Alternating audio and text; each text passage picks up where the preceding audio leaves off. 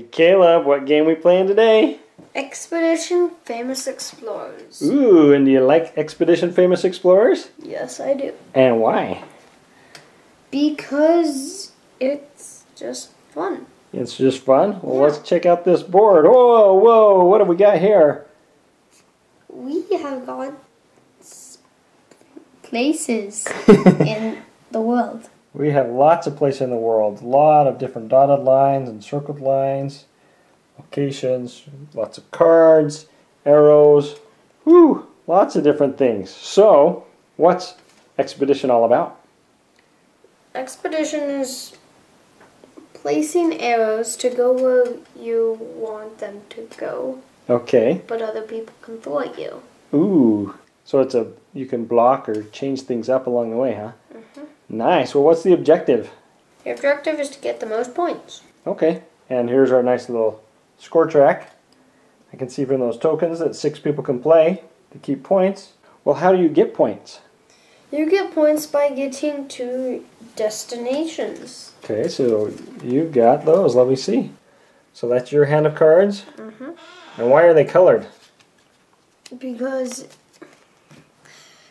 the colors tell you the general location, like blues in this area, yellows in this area. Oh, to help you area, find the location better, huh? Okay, that's great. That makes it easier to find your locations, huh? So, what happens when you get a route to that destination?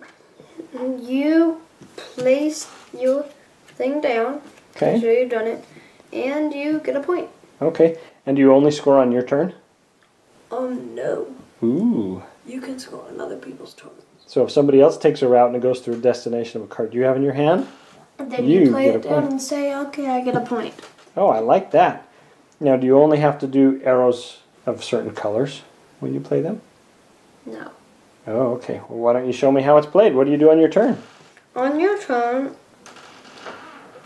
I play an arrow of my color of my choice. Okay. So I'll place it down right there. And that's it. All right. So the red expedition's headed off that way. And what happens when you hit a green spot? A green dot means you get to place an extra arrow. Okay. Does it have to be that same color? No, Okay. but I want it to be the same color. To go to the Caspian Sea. Oh, so you're headed an expedition off that direction. Nice. Okay, and then that's your turn, and then it moves to the next player? Except for I just got a point off public destinations. Oh, you scored already? Yeah. Man, you're quick. So what are these over here? These are public destinations. Anybody can complete them. Oh, so there's six that are always face up. If you complete it, you take it, get a point. So it's good to keep an eye on what areas are public Yeah. and what's in your hand to score more points. Yeah. Nice. And then is your turn done? Yeah. Okay, and it moves on to the next guy? Mhm. All right, should we see what happens a little further along? Okay. All right. All right, Caleb. I can see there's a lot of routes around the board. A lot of development going on and routes going out and about in different ways. Mhm. I take it it's your turn. Yeah. All right, what are you going to do? So I could do two ways. One way is to use two of my tickets. Ooh, and tickets. What are tickets? We haven't talked about those yet. So tickets, you start with three of them, Okay, and so that means you can earn more. yes, these red spaces, if you go on those, they give you a ticket. And what can you spend them for? You can spend them for placing an extra arrow, Uh huh. for switching out one of your cards, Okay. or for removing an arrow. Oh, nice. And how many can you play on a turn? You got five there now.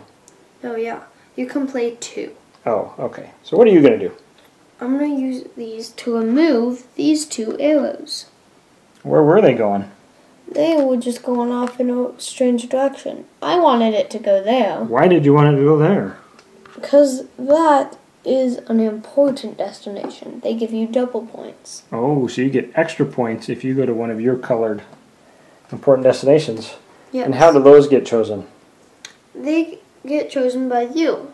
At the start of the game, you choose four of the cards in your hand to become important destinations. Ooh, and if you make it there, you get double points. Yes, I have gone over two. Uh, Okay. I- But it looks like somebody had this route going a different direction.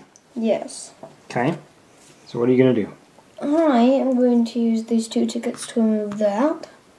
So you moved both arrows? Yeah, and place one there to Okay. get the important destination. Nice. Yeah, that gets you there. Okay. I could give those to us, not use any tickets whatsoever, Okay. and do that. Okay. What does that do? That creates a loop. Okay. And what happens when you've got a loop? You get to place an extra one. Nice.